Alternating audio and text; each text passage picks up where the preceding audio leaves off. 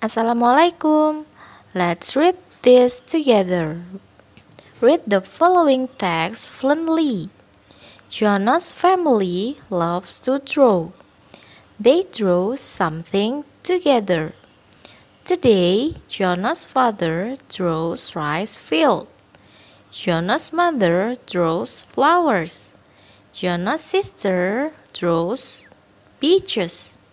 Jonas draws his dream car. They draw and joke around happily. Artinya adalah keluarga Jono suka menggambar. Mereka menggambar sesuatu bersama. Hari ini ayah Jono menggambar sawah. Ibu Jono menggambar bunga.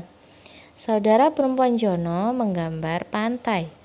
Jono menggambar mobil impiannya. Mereka menggambar dan bercanda dengan senang.